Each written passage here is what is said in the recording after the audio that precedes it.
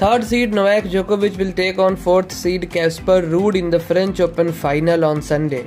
Djokovic has been in terrific form at the clay court major. He booked his place in the semi-finals with wins over Alexander Kovacevic, Marton Fucsovics and Alejandro Davidovich Fokina.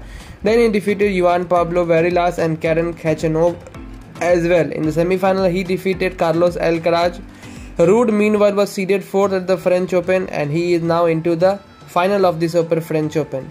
Currently, the head-to-head is in favor for Djokovic. He is leading 4-0. Meanwhile, if you wanted to watch the game live, it will be available to watch on Tennis Channel, on NBC Sports, and on Peacock TV in USA. Fans in UK can watch the game live on Eurosports as well as on Discovery Plus. My prediction is that Djokovic is gonna win tonight. Meanwhile, in 3, 4, or maybe in 5 sets.